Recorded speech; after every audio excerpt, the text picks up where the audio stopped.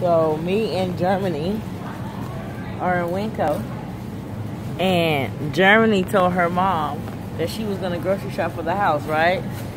And she is literally doing it. When I tell you she doing it, y'all watch this little girl. Okay. What else do we need on your list? Apple. I thought you said you needed some strawberries. We do need strawberries. Okay, well that's over here. We're not gonna get apples too, are we? We're gonna get both? Oh, okay. Well, there's a bag of apples over there. So you don't have to get one at a time, you know?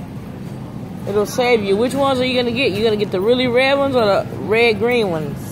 Right here. You going to get the green ones? All right. Well, come on. Grab what you're getting.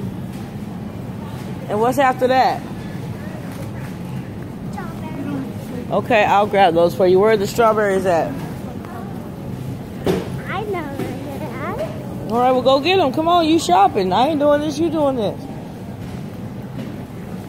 Watch out. Okay, I got the apples in here.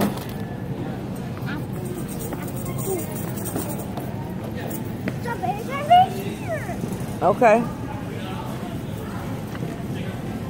Are those good strawberries? I don't know. Do they look bad? Would you eat them? These are okay. Now what's next? Um. Noodles and what? Noodles and biscotti. Noodles and biscotti. Yeah.